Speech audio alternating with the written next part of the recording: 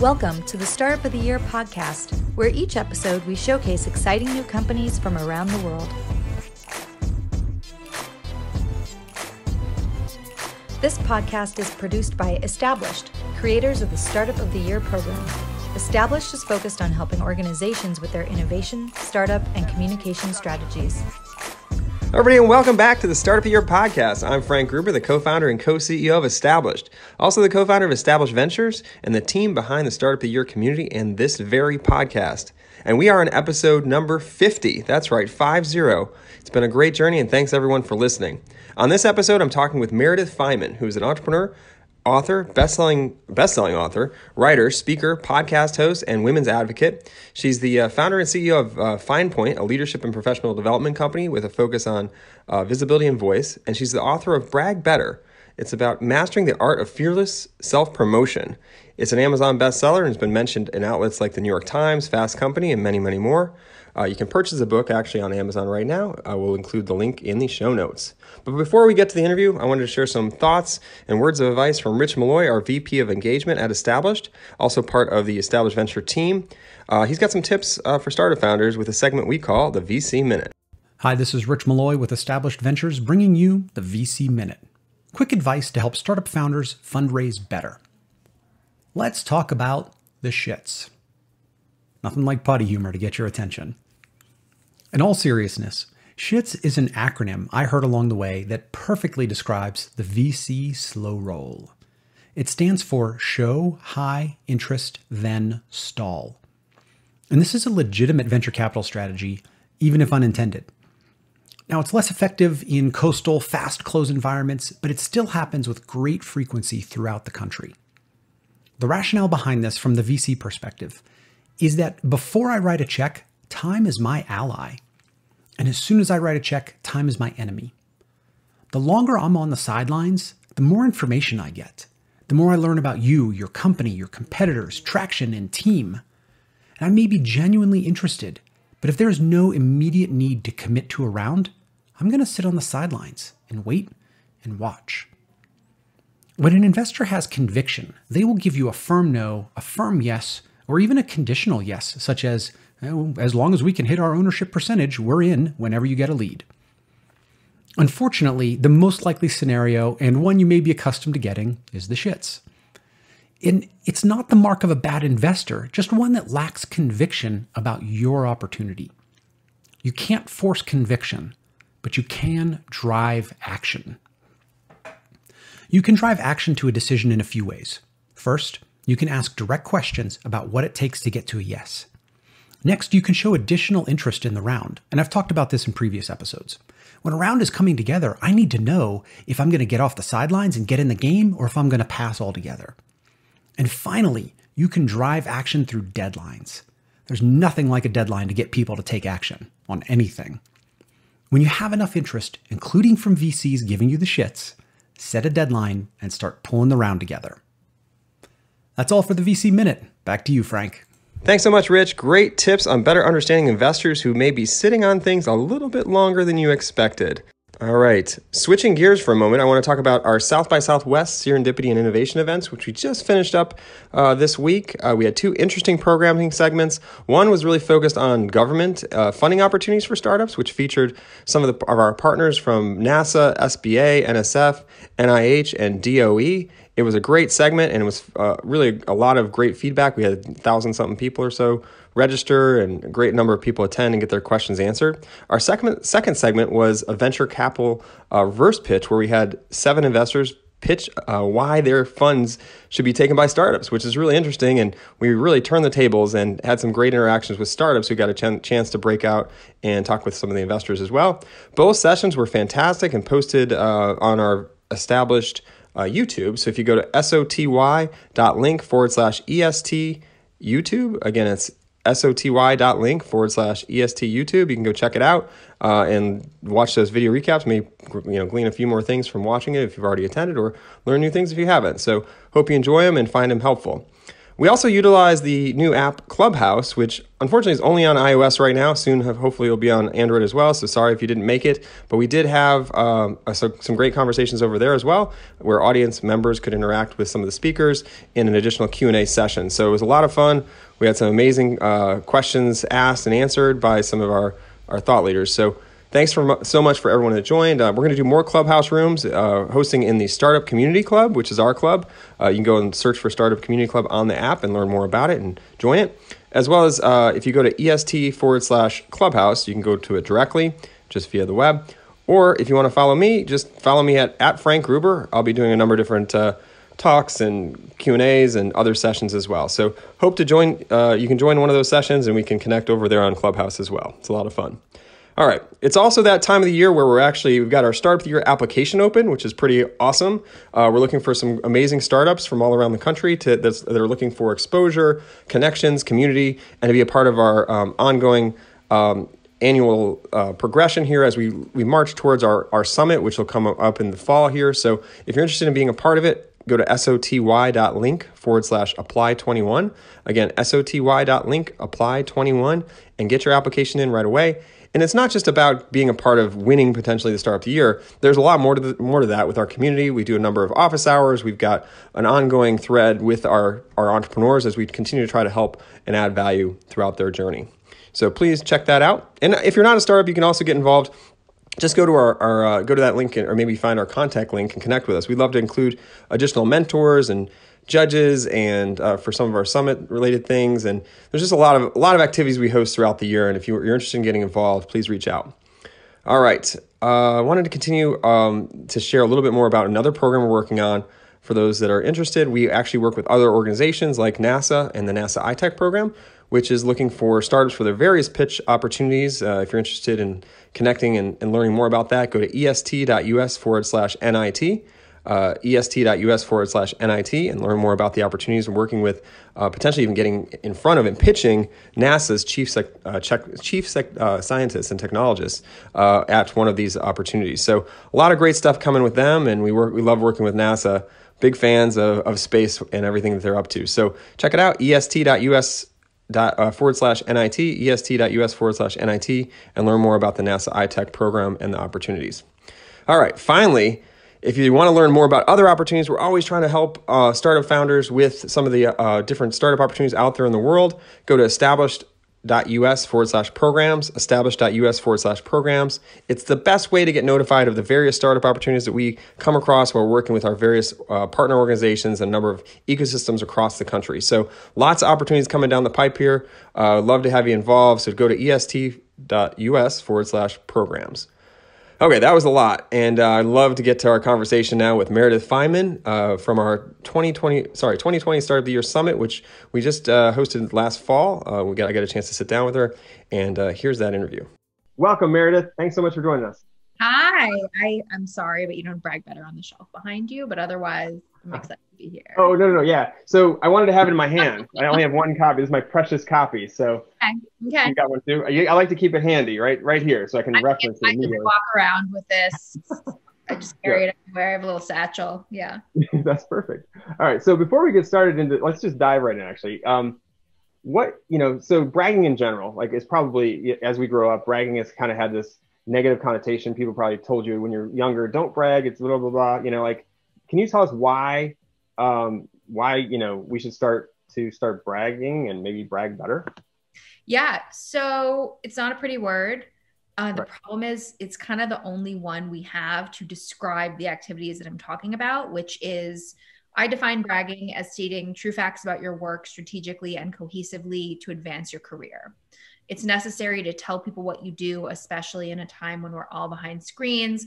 I know of a lot of the people watching this, you know, are in startups. You got to pitch yourself, your work. It's an essential part of work. And, you know, I thought I've been, you know, speaking and training on bragging for the better part of a decade. And I thought of many people have told me not to use the word and it has a negative connotation. The problem is we just don't have a vocabulary to talk about professional accomplishment in a positive light and that's right. too long for a title so right no, that, that is a long title i mean I, I agree with it i've always believed that and lived by the idea that no one's going to tell your story for you so obviously I loved when you published this book recently and, you know, it's an opportunity for people to learn how to better tell their story. So let's, um, since we are at, you know, the start of the year summit, I feel like we should kick things off with a little bit of a um, startup-ish kind of angle.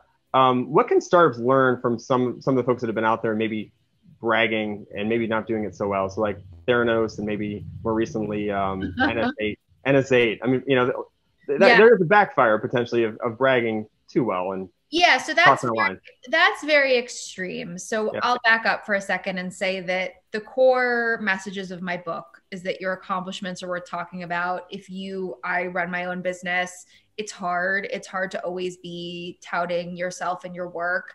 Uh, it's necessary for spreading a message. My background for this book and for my training and speaking is in public relations and this idea of packaging and pitching yourself, which is so necessary for startups for visibility, for money, for mm-hmm. you know getting the right board members. It totally runs the gamut. Um, but it's it's a hard, vulnerable thing to do.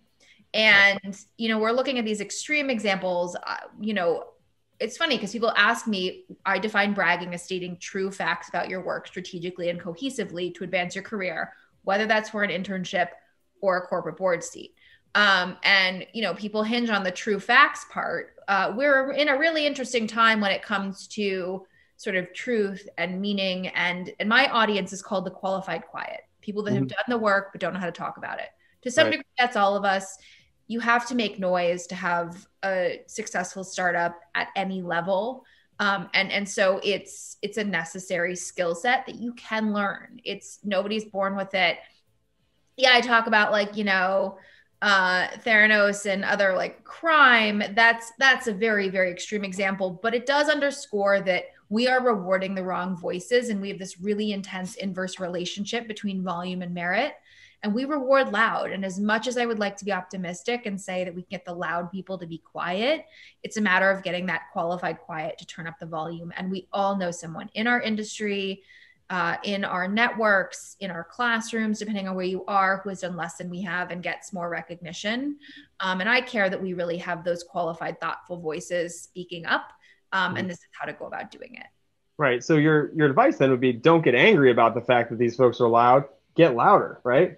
And and, and do it yourself. Yes. Yeah, so the so when I so the pillars of bragging better are to be proud, loud, and strategic proud, you know, is to be proud of your work, which I think is the hardest one. Loud does not mean the volume of your voice. Mm-hmm. I have been in and around media and public relations for over 10 years. What breaks through is repetition and consistency. So when I say loud, I mean the repetition of your message, your startup, your needs, your wants, your wins, mm-hmm. um, and consistency of message all over online and then in person you know when that can happen again uh, right. this is especially difficult right now when we're behind screens and if you're someone who is like i just got to get into the room and pitch them or 10 minutes with you mm-hmm. um, that can that can make it really really super difficult um, so so that's important to keep in mind and it's easy we all get jealous or angry or whatever at someone who's like well i've done so much more than they have why are they on the panel why are they getting x and y and z mm-hmm. um, but hopefully not dwelling on that and figuring out a way to be loud in a way that feels okay to you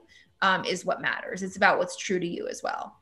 Okay, so let's talk about you know maybe you're you're part of that group that's not out there being loud enough and not doing enough repetition. How do you come up with a strategy for bragging better? So the first thing um, is if a conference booker or a journalist, if you're really looking for outward recognition, can't figure out who you are, what you're about, and what you want or need, um, again, it's it's all circling around the idea of a good pitch. Uh, mm-hmm. whether that pitches for media, whether that pitches for money, whether that pitches to hire, you know, it, it, you use that in every facet of your life, which is where the skill set comes from. Is PR this this idea of packaging and telling a good story and getting what you want out of it.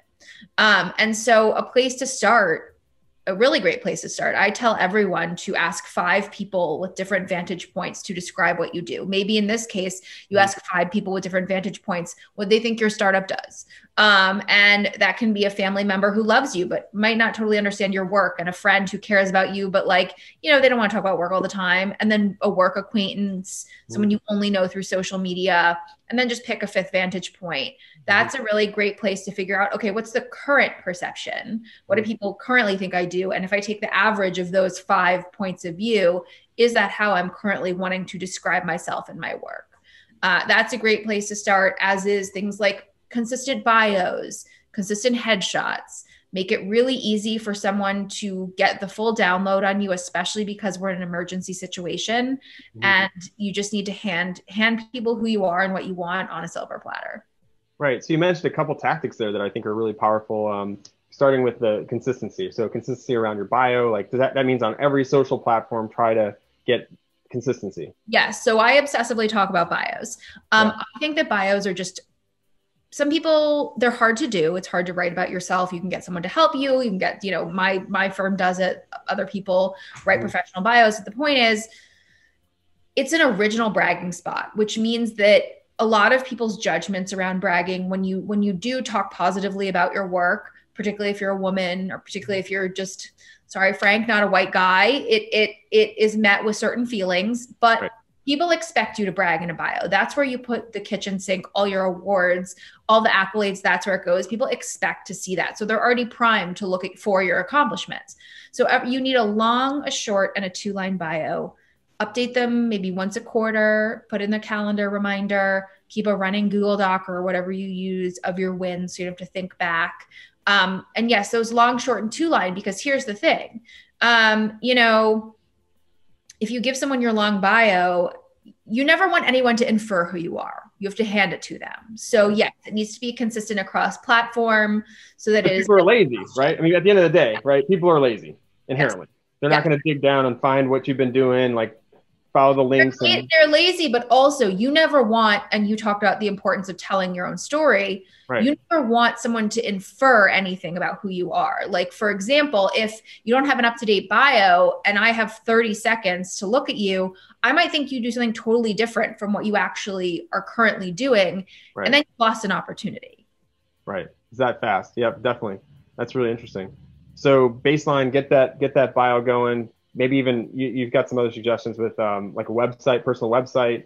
Yes, personal website. Um, again, you just want to, I like it because it's a one stop shop of you. A lot of people are really stopped up because of the sort of technical aspects, which it's never been easier to mm. use, you know, varying website platforms. Um, but you need to have, especially since we are in an economy where we all do so many different things. Right. I write, I speak, I podcast, I, you know, have my business. And sometimes it, you need to lay it out for people. Again, you need to make it very easy for them. And it's also just a great place for you to look at everything you've done. Um, but there are opportunities all around you to create this cohesive narrative about who you are. Something as small as your email signature, which you mm. talk about all the time, should have links to correct things. And especially in the startup world, no matter what you're pitching for at whatever level um, and, and whatever point in your career, um, you just want to show people who you are really quickly and, and get to a yes. Right. And I think there's something there with words too. Words really matter. Um, the way that you so like for example, if you're out there trying to raise funding, um, the way that you put the context you use of how you're doing it, whether you're I'm raising funding or I've raised funding, like the way that you actually say it matters, right? Yeah, your word choice definitely matters. I so this idea of packaging and pitching yourself, as I said, is is irrespective of level of seniority mm-hmm. um, and it, everyone has different sort of touch points that they want out of their brags but mm-hmm. particularly for fundraising i mean these think about sitting on the other side of the table mm-hmm. and just how many times these people are asked for money for mm-hmm. varying concepts that people are willing to you know die on a hill for and right. and so um picking your words carefully, practicing, um, but also understanding that, you know, I did 20 amazing interviews with really interesting people for this book. One of them is Natalia Oberti Noguera, who runs Pipeline Angels. Right. Um, and and she talks about how also pitching is not a zero sum game. So for me, the word choice is important, but the sentiment behind it, the confidence behind it, the strategery, if you will, behind it um, mm-hmm. is actually what's most important is sort of that third pillar bragging better strategic. It's like well what am i packaging this for? Am mm-hmm. i making sure this is the right audience? This is what they want to hear. Um, and is going to lead to in this case funding? Right. And there are some superpower words too right? Do you want to share how you use those? Yeah so i have those are more about tone. So as a writer, I wanted to create a tactical, you know, skill-based book uh, on on how to talk positively about yourself and professional accomplishment. And that tone varies depending on who you are. So superpower words are so mine are usually thoughtful, helpful, and and funny. Mm-hmm. Uh, that's that's what I care about communicating. And I think all of the things that I do and say and post and tweet do those reinforce the words that make me feel confident and powerful but they're also a way to help figure out the tone of the way you communicate things and what you want to communicate um, and, and how you want people to think of you. That makes sense. All right so i'm a big fan of gratitude and i know that can be a big part of of bragging better as well. How do you how do you use gratitude to uh, brag better?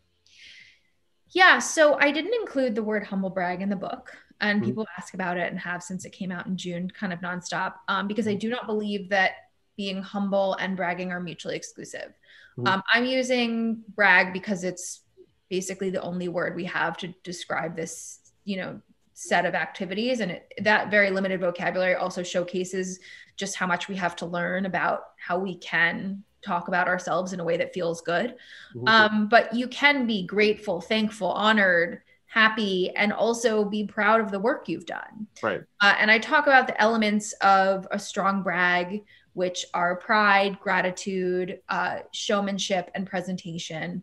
And that gratitude piece like it's a great thing to espouse in general and feels good and you know all the science around how it makes you feel good and other people feel good. Mm-hmm. but you know for example when uh you know posting you know our exchange for example i'm i'm grateful that you included me and that's not a false feeling or pretense or anything. Um and and that plays a huge part in in helping people feel close to you when you share your work that makes sense and i think the other piece there is you know you see a lot of people out there saying um, you know, humble brag alert or here, here comes my, you know, self promotion, you know, kind of thing.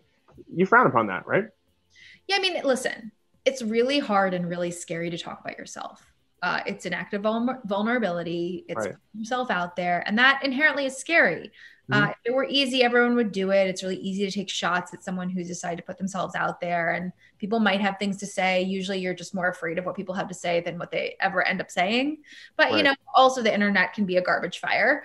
Um, so, but but those negative qualifiers, hate to brag, but self promotion alert, shameless plug, right? Those are showcasing your discomfort, and those translate to your audience or your reader. So I use an example of someone who I'm close to who does a lot of wonderful TV hits. She's super talented, she's super successful, but every single time she posts one, you know, she puts like, you know, shameless self-promotion alert. And right. and self-promotion is hard. I'm giving I you know, I wrote this book because it's hard, because it's scary. It elicits the exact same feelings.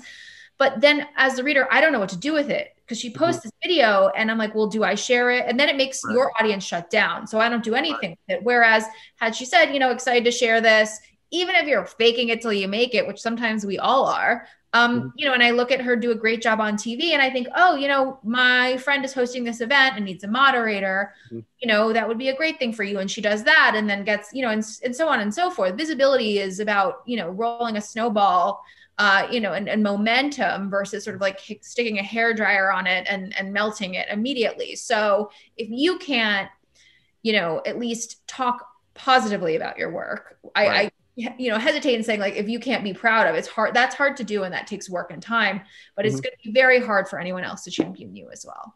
Right so don't put that in front of yourself when you're sharing things socially because it'll basically exit out. People aren't going to want to attract it's not going to attract more yeah it ends up it, you may as well not share it at all. It ends up just actually having a negative effect on your reader because he or she doesn't know what to do with it and then right. shut down and then can't right.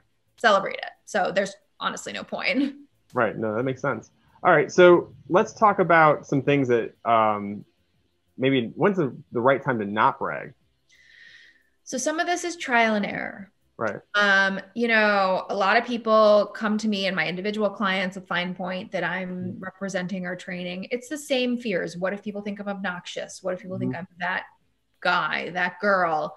Um, and what stops I, it's almost physically impossible for you to brag too much if you're worried about those things because the people that do mm-hmm. um you know may, you know maybe a you know a blowhard type person does not have that level of self-awareness and that mm-hmm. that i think you know it's it's akin to imposter syndrome you know mm-hmm. i think the people that are good only only people that are good at their jobs worry whether or not they're good at their jobs um but you know that level of self-awareness is a great tool that you just have to rely on you know and and feel intuitively that you will handle. However sometimes you put your foot in your mouth i've done it uh, and sometimes it's just not appropriate and you have to walk it back. Um also depending on you know this is something that makes people uncomfortable and it's hard and it's scary. And tempering that if those people are some of the gatekeepers to advancing your career as much as i want you to tout your accomplishments if they're going to be too uncomfortable to deal with it then mm-hmm. that's something to think about too but some of it's just going to be trial and error right. um, and and a case of reading the proverbial room since we're all you know in online rooms right now we're in the online room and that's a great kind of transition to the next point you know making a first impression or an ongoing good impression in the real world when we were together meeting is you know eye contact, handshakes, things of that nature, you know, that's obviously great advice. What advice do you have, I guess, if we go back to that? But then also now that we're in this like virtual all the time Zoom world, what other, how's that changed? You yeah, know, a bunch of Sims. So, um, yeah, so it's really hard. And publishing this book in a pandemic, which is a whole other conversation. Mm-hmm. Um, and you know, I have a whole section on handshakes in the book, and and as soon as I, you know, it was too late and I didn't, right. didn't know what was happening. So right. I wrote an extra free chapter on how oh, to brag better from home and online, which is on the Brag Better website at brag-better.com, which is going right. to be, I think, expanded upon. Mm-hmm. So it's hard. Uh, yeah. There are some advantages in in in this, some small silver linings. It's very scary, hard, difficult time. Mm-hmm. But you are at home. If you are someone who gets more nervous meeting new people, you're able to practice more. You're able to keep notes, you know, up on your computer potentially mm-hmm. where other people can't see them um, and, and sort of playing to your strengths there but yeah the you know the the fourth pillar that i added of bragging better is explicit. People don't have time to infer nobody can infer things right now first right. of all.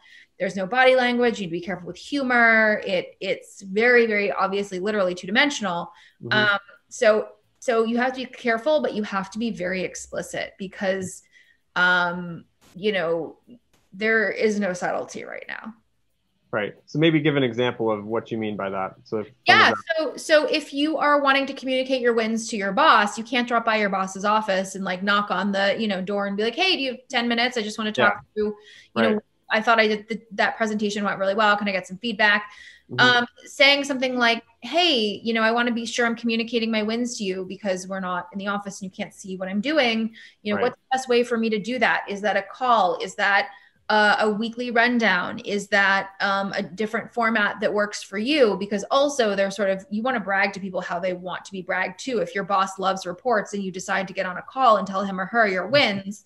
that's not gonna register as well right um, so so thinking about those things and again you know this idea of a personal website laying out for people laying it just laying it all out there for people online because it's the only option we have right now no, that makes sense great great tips and advice all right so let's switch gears uh, slightly we're gonna we've got a startup audience a bunch of entrepreneurs out there watching can you share they're gonna you know be pitching here shortly uh, we got our top 100 uh, companies that start the year summit here.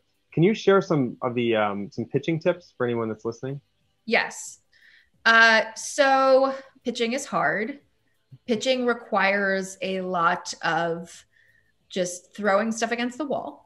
Um, mm-hmm. but I would say the best pitches, whether you know in this case for funding um, or for prizes or for attention, is considering your audience. Mm-hmm. Um, and are you you know getting the information at, as as cohesively and strategically out there as possible um, and what does this person want to hear and how are you going to make it clear to them sort of reverse engineering it if you will i think about i pitch my business and my writing and my work all the time and and it looks very different so in this case i'm talking to a bunch of entrepreneurs mm-hmm. and i would tell you about you know my company and the other entrepreneurs that i've coached or counseled um, and, and and whatnot versus if I'm talking to uh, a different type of potential client in that's a leader in the you know legal world and say okay here's what i've done with lawyers. I understand the ins and outs of what you can and cannot say um, and the sort of tightrope that you're walking there. But when it comes to pitching it has to be relevant to whomever you are pitching. Um, don't forget to and fran hauser who's who's an investor who's also in the book mm-hmm. and and in the in the realm of brag better i only represent people. Don't forget that you are part of the product too. Um, and she talks about how she sees great pitches but these founders particularly women but not only women leave out why they're so wonderful. Um, and so don't leave that out too because also people you're investing in an idea but you're investing in a person. And so much of my work comes from what I saw as a millennial entrepreneur and this extreme cult of personality and how you know leadership is a driver of business for good or bad more than ever before, um, which we've had in American history, but it's so much more extreme now that don't leave yourself out of it. Um, and and there are lots of different kinds of leaders in the way that you want to be visible, but that's a huge part of it now for investors as well is you know what what are you going to do as a leader as a founder as a coo um, to help you know get the company visibility and propel it forward? That makes sense. All right um, now part of that too is you know you've done a lot of speaking in your in your career. Um, some of the founders here and, and other entrepreneurs and, and, corporate folks that are here investors um, they all probably have had speaking gigs but can you know how do you feel about that as a way to get out there and, and brag better? I mean, it's great. It's really saturated right now. Um, I love doing speaking. Uh, I, you know, I miss being on stages and I miss having stage fright, which is really weird because, you know, I do it anyway and speak constantly. Um, right. It's a great way to get out there. I mean, it's the ultimate form of authority. Susan Cain, who I interviewed for the book, who wrote Quiet, is the reason why we talk about introversion. Mm-hmm. Um, and she talked about how like she could write an article and people would think she was an authority, but she's on a stage for five minutes and people are like, oh, you are now that you know, it's something in, in humans' brains. Like it's one reason, and she also talked about her extreme stage fright. Mm-hmm. Um, not stage fright, you know, fear of public speaking, which is incredibly universal and normal. Right. Um, is it's just also an inherently unnatural human activity. If you were standing in front of a group of people alone outside of the pack, usually meant they were going to attack you. um, but but it's a wonderful thing if you can get involved in speaking. Mm-hmm. Uh, even though it is saturated, it's never been easier to be on a virtual panel mm-hmm. um, and to organize a virtual panel and to be a part of speaking things because now there's no travel schedules, there's no you know crisscrossing around around the country or around the world. Um, so it's a great way to to build up your authority for sure. So if you were out there trying to do that, how would you get more speaking gigs right now? I, I, just any tips or tricks for anybody that's you know got a company or wants to try to get in, front of people? Yeah. So, um, you know, I'm undercutting my own business, you know, and all the rest of us that get paid to speak. But, mm-hmm. you know, so, first of all, nobody knows that you're available to speak unless you tell them. And a lot of my clients want to be speaking. Mm-hmm. And I say, okay, that's fine, but nowhere does it say that you are you have spoken, you're available to speak, someone can book you to speak. Uh, there are no photos of you on a stage holding a microphone. Uh, so you don't speak. Know. I mean, people think you don't speak, right? Like that's so, that's the... and that's that's so much of it. Nobody knows what you've done, and nobody right. knows what you want until you tell them and ask them. And that's right. with speaking. Like they're like, oh, I want to speak more. I'm like, well, that's fine, but nowhere on your personal website or nowhere in your bio is there a nod to one speech. Right. Um, like, well, oh, I've only given a couple speeches, and I'm like, but yes, brag better. You've literally given them. Bragging is stating facts. You've done it, so state it. Um, right. But also, the order in which you state things really matters uh, because as humans, we absorb what you tell us first. So even if you are an entrepreneur and a writer, let's say, but you really want to be speaking more, and you say that you are an entrepreneur, writer, and speaker, people will think entrepreneur, you know, you're telling people what you care about. Right. Uh, but the order in which you say it. So if you switch it around and say, "Oh, I'm a speaker, writer, and entrepreneur," then they're like, "Oh, a speak," you know. So so you have to show up for yourself in that way and post those photos if you have them. Post the video if you have them. Um, you know, video really, really matters. Conference bookers want to know what you look like, what you sound like, what your setup looks like.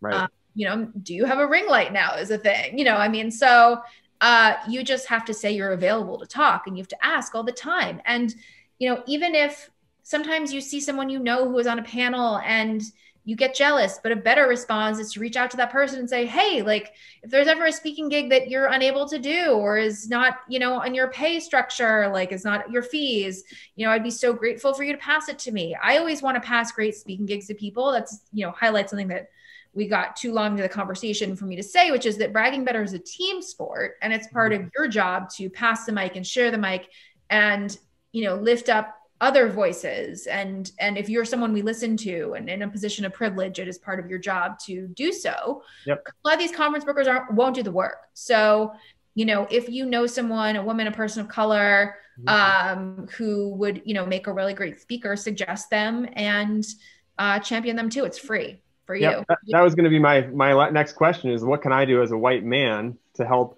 you know other women and minorities so basically go out there champion what they're doing share what they're doing on social media and other things but also every time you get asked to speak is mm-hmm. there gender equity on the panel you right. know or is it diverse if not right. make some suggestions it's free you know a lot of people be yep. com- you know be committed to you know say i really want to do this panel but i noticed that there are no black people on it and you know i want to make sure that you're being inclusive. And or again there you get asked i'm sure to do a lot of stuff. If you can't do it make a concerted effort that yep. you suggest a list of people um, who aren't white dudes. And that is a great service. Right. And we we take that very seriously uh, you know with all of our events. We've done hundreds of events throughout the last decade and it's something we pay close attention to. So i'm glad that you're putting it out there and helping other people realize that that's something that needs to be done as well. And it's so, never case of you know people ask me so the qualified quiet is irrespective of gender. A lot of my work is around women and bragging but a lot of people like oh do you want men to shut up? You know and it's no you are the default voices we listen to. We need you to help champion us. It only makes you look better and it's free for you to do. So there's really no excuse and it's good to just keep it top of mind. It's a tremendous service and an important one um, and it doesn't minimize your accomplishments or take away the opportunities that will come to you either uh, there is room on the stage, literal or figurative, for everyone. Right. And I think you're 100% right. I loved your book. It's a great roadmap for anyone looking out, out there to raise their profile. You got your copy. I'll keep mine here. And uh, Meredith, where, where, can people find you if they want to uh, yes, connect so- with you? please consider buying Brag Better or requesting it from your local library. Uh, go to brag-better.com. has a list of independent bookstores, independent Black-owned bookstores you can order from or you know the big guy uh, i did the audiobook i recorded it in a closet in quarantine you can listen to me talk it at you for seven hours uh, mm-hmm. get on your kindle etc i'm meredithfineman.com at meredith fineman mostly on instagram is my favorite platform Thanks so much, Meredith. That was pretty amazing, and I hope that the conversation helps startups that are out there trying to talk about themselves better, pitch their ideas, and try to get people to believe in them uh, because I know that's a hard thing to do. And uh, obviously, you shared some great nuggets there, and I hope people uh, were able to learn something from your from our conversation. And thanks again for joining. All right, well, that's the episode. We hope you enjoyed it and were able to you know find something new and interesting from this conversation. Maybe you learned something. Maybe you're thinking about something differently. That's what we're all about here. Thanks again for listening. Please subscribe to the show and review it if you can. We'd really appreciate it. And remember, if you have a startup idea and you want to get it going, today is the best day to start up. Don't wait, just get it going, iterate, and get it out there. Until next time, I'm Frank Gruber signing off. Stay safe and be well out there. Thanks for listening to the Startup of the Year podcast. Be sure to subscribe, and we'll be back with another episode soon.